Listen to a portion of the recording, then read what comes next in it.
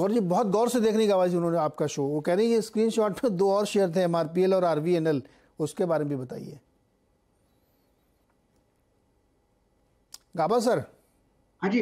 MRPL और RV RVNL में भी बताइए। आरवीएनएल और एमआरपीएल मैं ज़रूर बता दूँगा। हम्म। करने की कोशिश करता हूँ। Yes M R P L अच्छा लगता है स्टॉक के। कंसोलिडेशन मोड पर है। लॉन्ग टर्म के लिए स्टॉक मुझे बढ़िया लगता है। एटी में स्ट्रॉन्ग सपोर्ट जोन है एमआरपीएल मेरे ख्याल से ये स्टॉक होल्ड के लाया गया है अगर मेरा अंदाज़ा सही है पॉसिबल है कि 110 120 भी देखेंगे लेकिन उससे वक्त लगेगा। क्योंकि इसका चार्ट स्ट्रक्चर कहता है कि अपमू ऑन है। और दूसरा कौन सा बताया आरवीएनएल आरवीएनएल वेल ये स्टॉक भी बाय मोड पर है। यहाँ पर एक साइडवेज जोन पर चल रहा है। बहुत फास्ट दौड़ा है। इसलिए टाइम वाइज करेक्शन की ज़रूरत थोड़ा वक्त गुजार सकता है साइडवेज जोन में।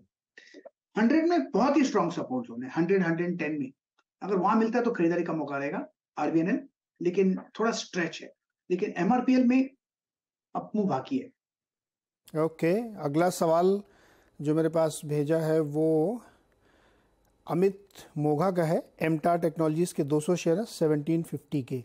एक से दो साल का समय देंगे। एमटा टेक्नोलॉजीज़ में आ, कल भी स्टॉक में मजबूती थी लगातार वो स्टॉक चला है। और चंद्रयान थ्री जो अभी गया था प्रोजेक्ट उसमें इन्होंने कुछ काम भी किया है तो उसका भी बड़ा इनको फ़ायदा मिला। स्टॉक में बहुत अच्छी रैली बनी है एक महीने में कितना नौ दस परसेंट ऊपर जा चुका है। गाँव से दो साल के लिए एमटार में अगर रुकें तो चलेगा?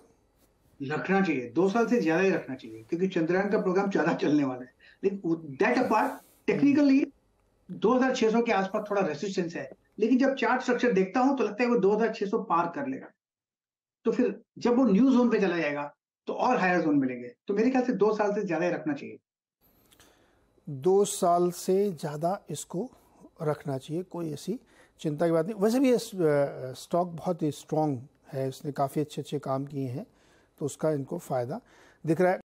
बता दें कि मनी कंट्रोल पर दिए गए विचार एक्सपर्ट्स के अपने निजी विचार होते हैं। वेबसाइट या मैनेजमेंट इसके लिए उत्तरदायी नहीं है। यूज़र्स को मनी कंट्रोल की सलाह है कि कोई भी निवेश निर्णय लेने से पहले सर्टिफाइड एक्सपर्ट की सलाह लें।